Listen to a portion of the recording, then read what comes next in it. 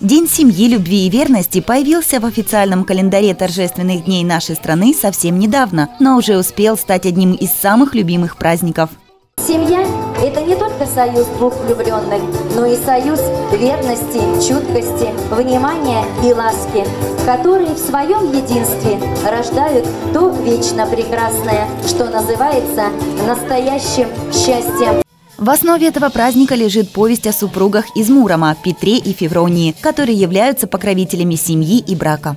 Это единственный праздник в нашем государстве, который тесно связан с православной церковью.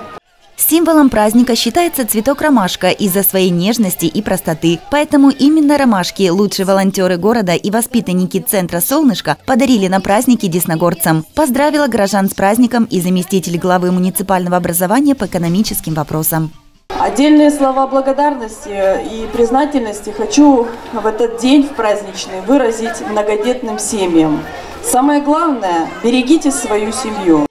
Особое внимание было уделено семье Тимофеевых. Это семья ветеранов войны и труда. Несколько десятков лет они живут вместе и заслужили всеобщее уважение и почет. Им Юлия Галикова вручила подарок и памятный адрес. Также на празднике присутствовали две семьи, которые являются примером большой любви и верности. Им вручили медали, являющиеся общественной наградой, учрежденной Организационным комитетом по проведению Дня семьи, любви и верности в Российской Федерации. Это супружеская пара Абрашитовых Саид и Татьяна. Они прожили в браке более 35 лет. И семья Зюковых – Николай и Антонина. Они вместе ровно 50 лет. На мероприятии теплые слова прозвучали и в адрес других семейных пар. Им вручили подарки и памятные адреса. Поздравили и наградили в тот день и участников, проходившего ранее фотоконкурса «Семья года». Сертификаты и адреса участникам конкурса вручил Игорь Григорович.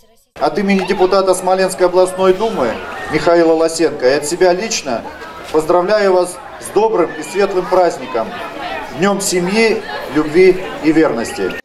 После официальной части мероприятия начался праздничный концерт с участием творческих коллективов города, Центра культуры и молодежной политики, а также кавер-группы «Киви» из города Смоленск. День любви, семьи и верности еще раз напомнил о важности искренних чувств, уважении и взаимопонимании. Виолетта Ефименко, Александр Ерофеев, Светлана Разганова, Десна ТВ.